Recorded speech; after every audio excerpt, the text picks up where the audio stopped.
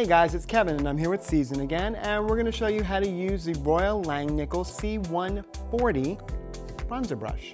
It's a great brush because it's got a flat head made out of soft natural hair. Um, this brush is really cool because what you could do with it is you not just load up the top this way, take your powder, put it on top, give it a tap, and your bronzer loads down into the brush. Watch what happens then. You can do bronzing on your entire face just loading it once. Pretty amazing, huh?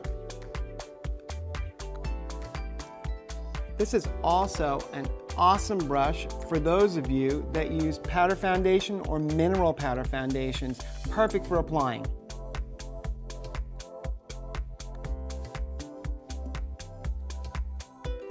And because there's never enough, we'll be back with some blush soon. So come back.